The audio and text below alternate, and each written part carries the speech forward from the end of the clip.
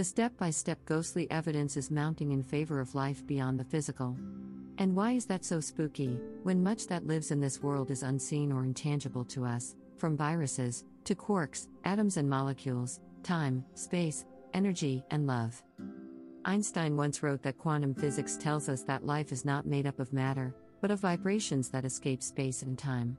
He goes on to say that for those who believe in physics, the distinction between the past, present, and future are only stubbornly persistent illusions.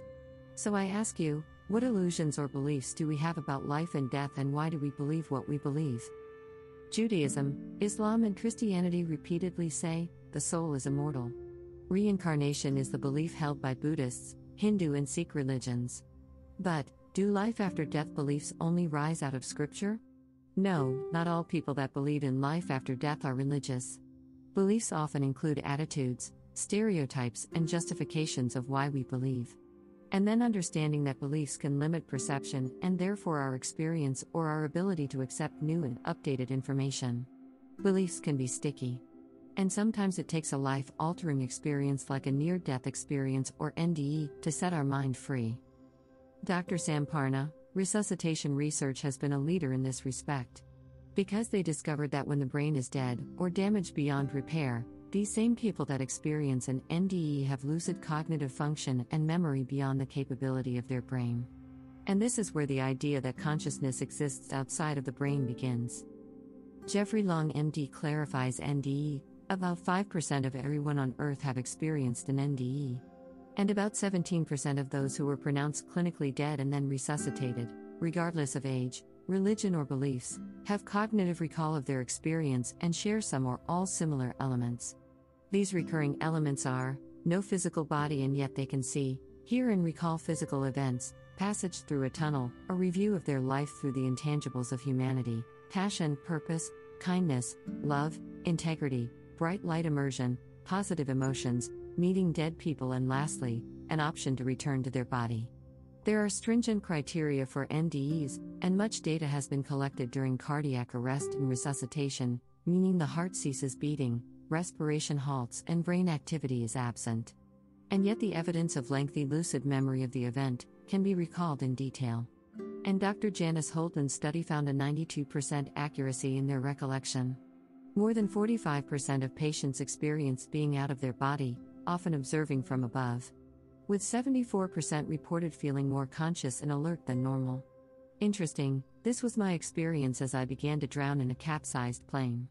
And that experience changed my beliefs in life after death, forever.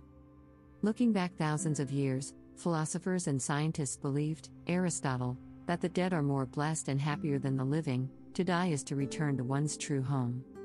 Socrates called death freedom, an escape from the body.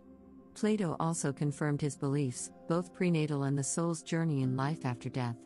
Leaping forward to modern times and Stanford, there is compelling empirical evidence for a belief in the afterlife. But there is still more. Respected scientist Robert Lanza, called a genius, a renegade thinker, and often likened to Einstein, claims that quantum theory has proved the existence of life after death, that energy is immortal, and therefore, so is life.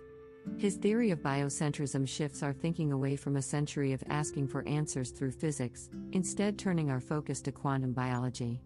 Biocentrism asks us to duel our long held beliefs about the illusions of life, death, time, and space. Some say biocentrism is the biggest turn the world on its head theory since the idea that the Earth was flat was debunked. To me, there appears to be volumes of evidence to support an evolution of spirit. And Einstein also encourages us to look for what is, not for what he thinks should be. So, I wonder if it is time for another kind of evolution in our way of living and dying. How would it change the way we are living our life today, with the knowledge that there is life beyond this life and this physical body?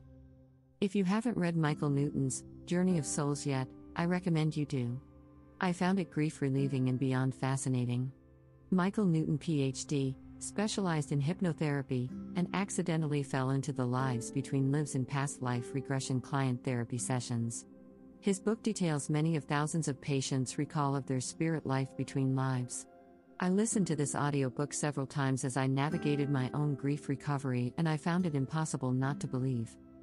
Through my life experience, I believe that I am a conscious soul with a body and mind. That there is something beyond what we see at first glance. And so I live my life based on the knowledge there is life after death, just as much as my reality that the sky is blue and the twinkle in my eye. I would love to know your thoughts, heart. Stay well out there. XOXO Adele.